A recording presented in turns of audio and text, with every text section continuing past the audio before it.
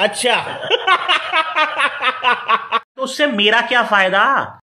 अच्छा ठीक है। समझ गया।